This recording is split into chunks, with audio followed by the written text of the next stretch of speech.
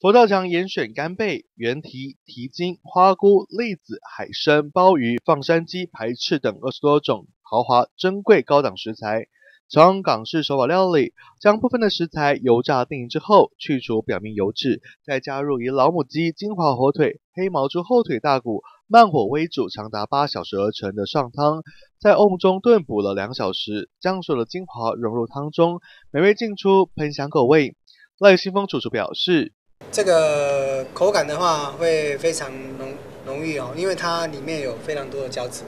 哦，在吃的时候会吃到后面的时候，你的嘴巴会有感觉有点黏黏的。那胶质对我们来讲的话，对我们皮肤干燥的人哦，会蛮有帮助的，会蛮有帮助。